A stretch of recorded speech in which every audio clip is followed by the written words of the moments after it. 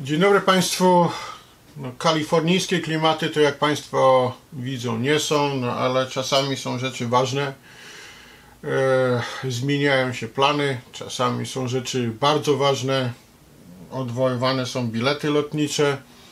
No ale e, co będzie, to będzie. Państwo się przekonają w ciągu następnych kilkudziesięciu godzin, bo mogę jedną rzecz, jedną rzecz powiedzieć, dlatego że e, zapowiadałem Państwu e, korespondencję z Kalifornii.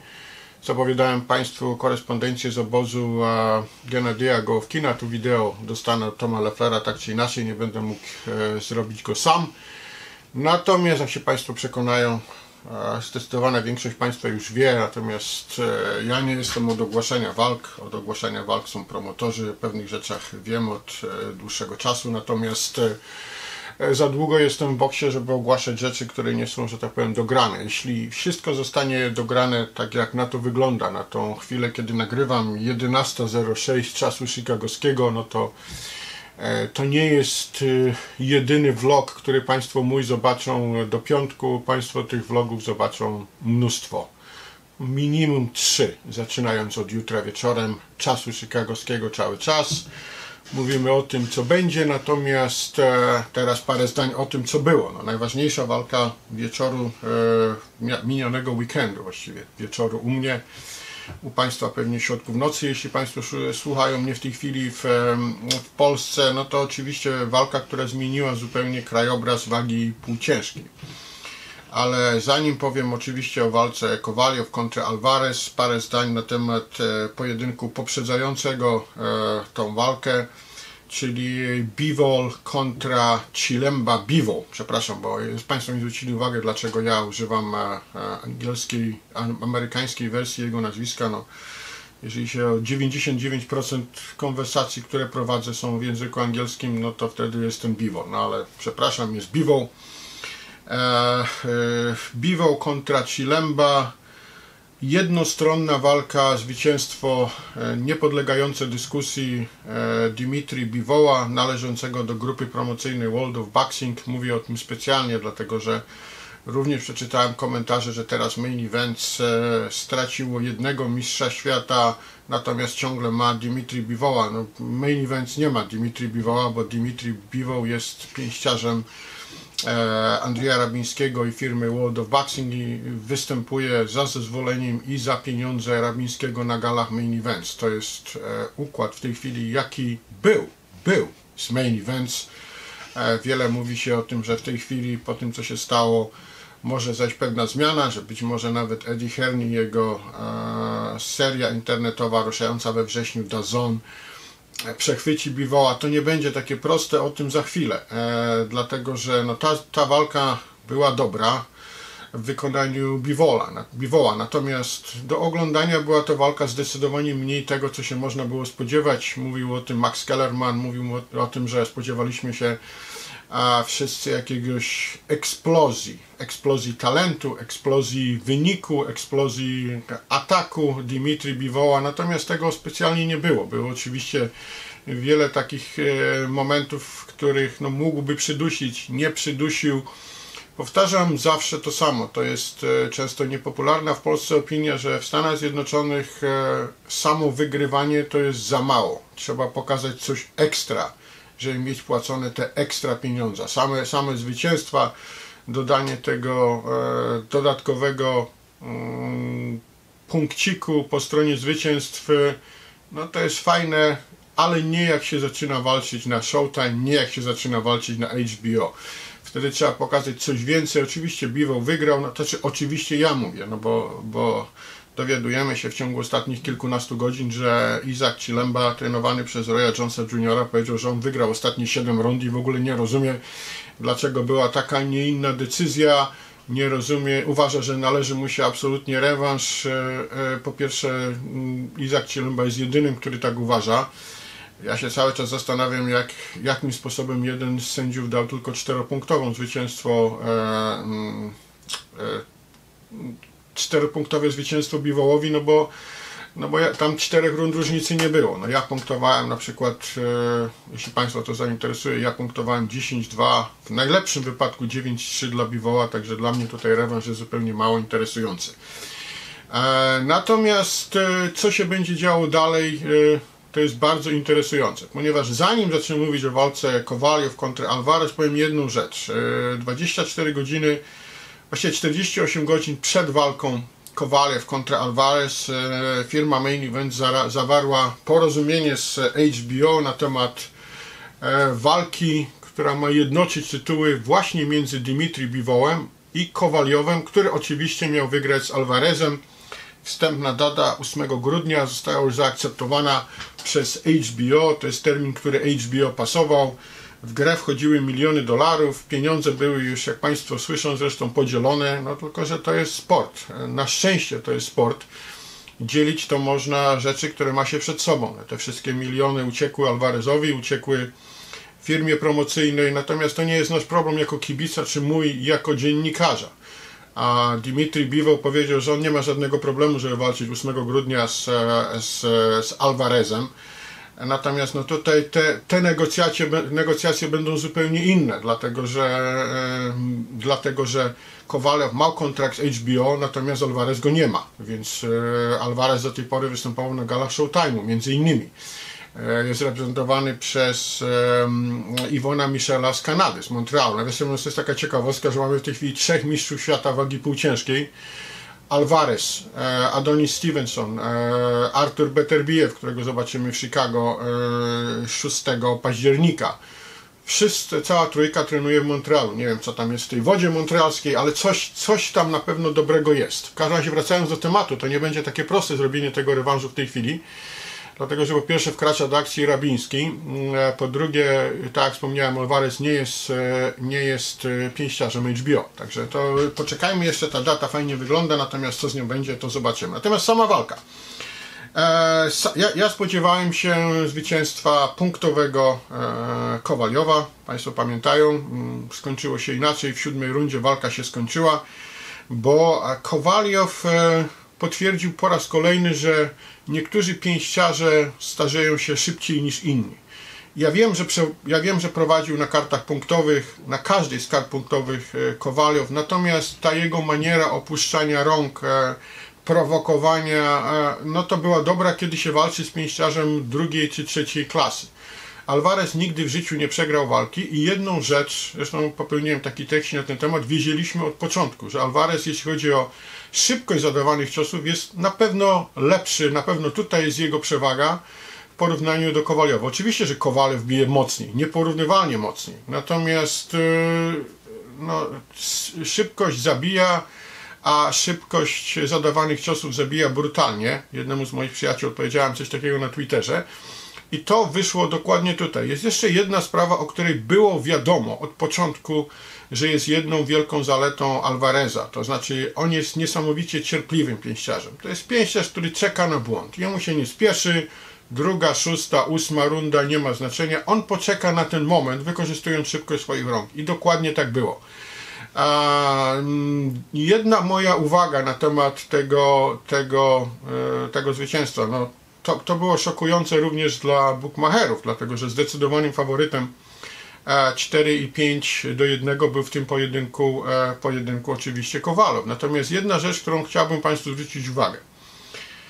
Dawno na tym poziomie, bo na innym poziomie to widziałem, nie widziałem tak bardzo sędziego chcącego pomóc e, jednemu pięściarzowi, jak było to w walce e, Kowaliowa. Proszę zwrócić uwagę, po tym e, przedostatnim knockdownie, czyli knockdownie przed tym ostatecznym ciosem z prawej ręki, który zakończył walkę, ile trwało liczenie e, Kowaliowa? Państwo policzą. No, prawie 30 sekund.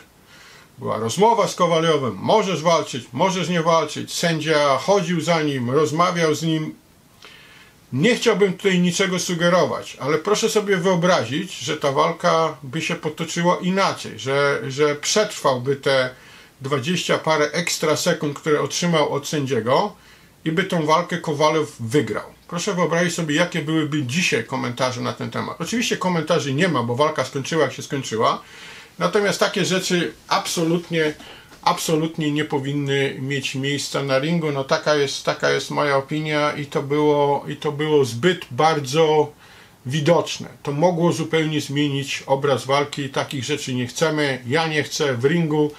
e, decydują o tym, jak się kończy walka, powinni decydować sami pięściarze, a nie, a nie mm, ludzie, którzy są dodatkowi, czyli w tym przypadku sędzia punktowy. Także co będzie dalej?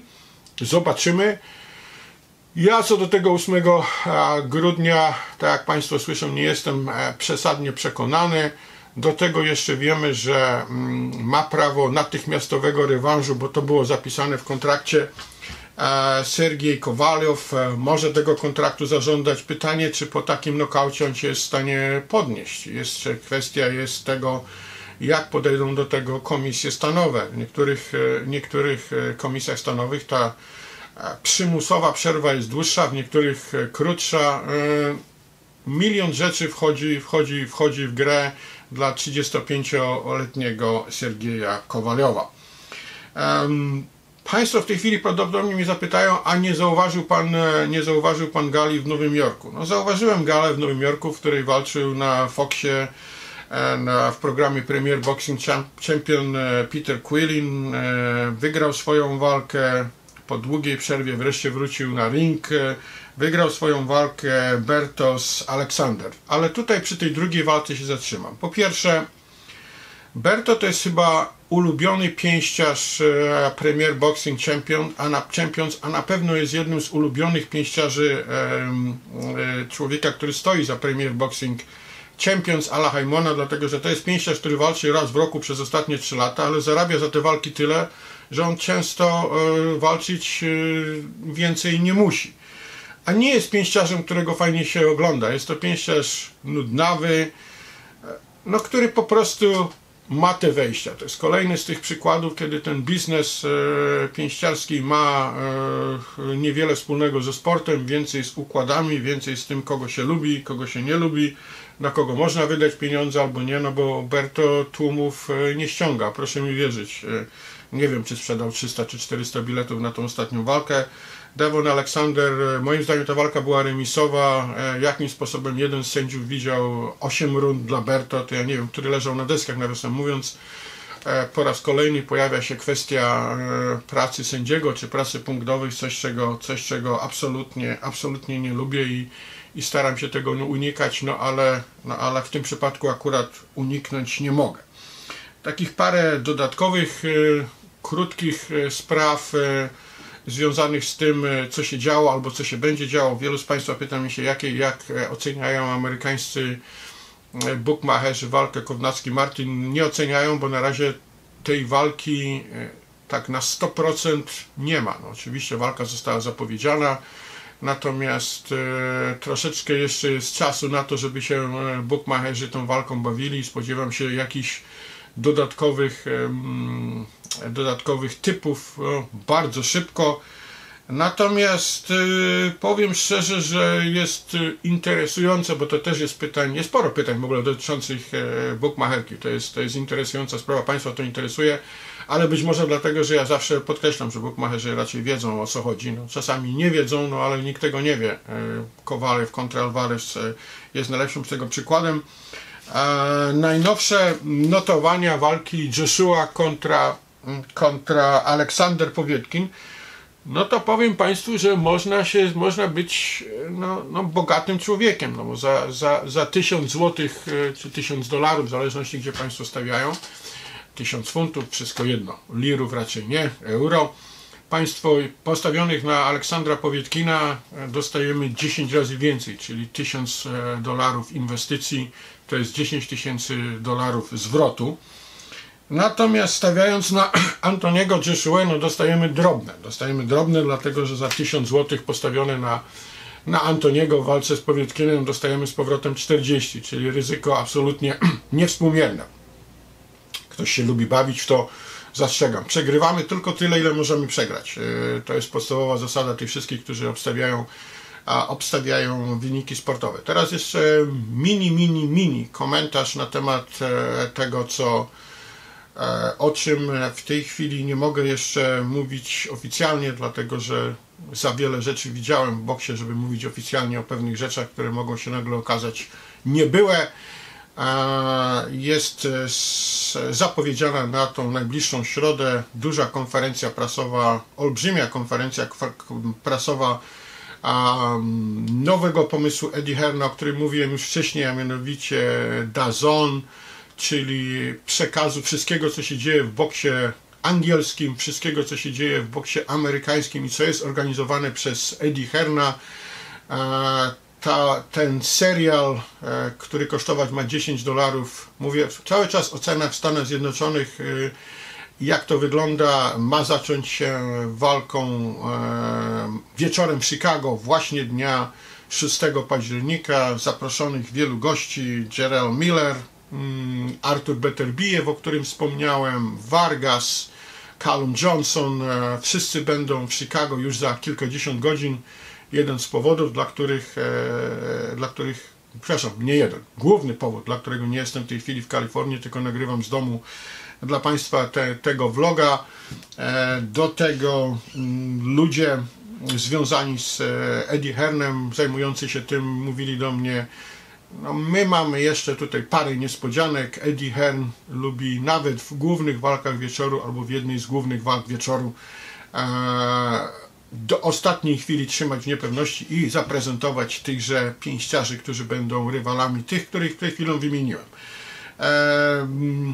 To jest rywalizacja. Dazon e, wchodzi na rynek amerykański w bardzo trudnym momencie. Wchodzi w momencie, w którym nową stronę, przepraszam, nową wersję oglądania boksu w połączeniu z Bobem Arumem otworzyło ESPN, ESPN Plus przedłużyło kilkadziesiąt godzin temu, czy kilka dni temu kontrakt z Bobem Arumem na następne 7 lat. 7 lat, czyli proszę Państwa, miejmy nadzieję, że wszyscy będziemy żyli, czemu Państwu, Państwu życzę. A ta wojna o widza będzie potworna. ESPN Plus kosztuje 5 dolarów, Dazon ma kosztować 9,99 to są bezpośrednio rywalizujące ze sobą firmy. Także jeżeli Państwo będą czytali różne wypowiedzi związane z z tą galą e, w Chicago i w ogóle wszystkim, co będzie związane z, e, z Dazon, z ust ludzi związanych z ESPN, no to wiadomo, dlaczego to robią. No to nie jest tak, Państwo nie znajdą e, reklam Mercedesa chwalących Audi i Państwo nie znajdą reklam Audi chwalących Mercedesa. To jest dokładnie tak to wygląda. Ja wiem, że to e, troszeczkę nie, nie troszeczkę, nie ma nic wspólnego z tak zwanym prawdziwym dziennikarstwem, natomiast no, za każdym razem istnieje coś takiego, wiemy kto płaci dziennikarzom ESPN, e, za to co piszą płaci im ESPN, oni nie będą pisali, że o, ktoś ma doskonały pomysł, który jest bezpośrednim rywalem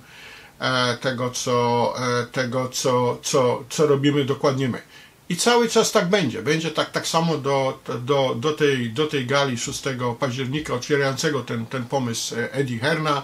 Bez względu na to, co by tam się nie działo, no to komentarz będzie taki czy inny. Natomiast do czego zmierzam, bo chciałbym to podsumować.